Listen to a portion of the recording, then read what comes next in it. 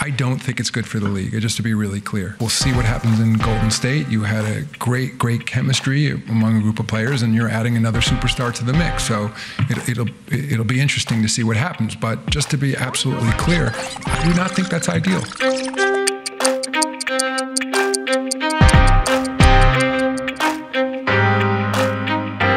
A lot of people look at this organization and this team as a volcano waiting to erupt, a situation that is poised to do great things.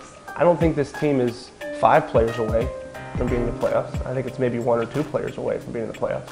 And um, the organization is trying to go in a new direction, and they're committed to winning. And um, at whatever cost, I'm just excited to be a part of it. I mean, I had some great years here. I had some bad ones, um, but I mean, just you know, thankful that I had the opportunity to, to do what I do for the, you know, the seven years I was here. Uh, you know, I started my career here. I mean, it's going in another direction. Let's bring up the owner of the Golden State Warriors, Mr. Joe Lacob.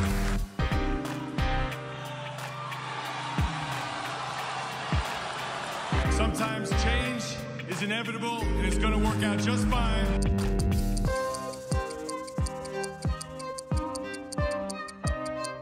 Bob Myers has uh, had this big smile on his face for several days now for drafting these three young gentlemen. So you're going to like all three of these guys.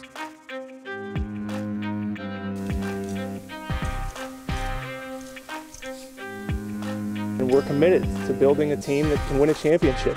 And that's all we care about, that's all we think about. So I understand the concern, um, but trust us, and we are moving in the right direction here. When you, like I said, embark upon this journey of trying to win a championship, there's a lot of big decisions, but we feel like in Steve, we hit it right.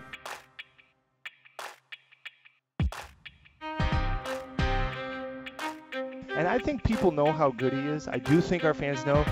But what I would say to the people listening, he's better than that.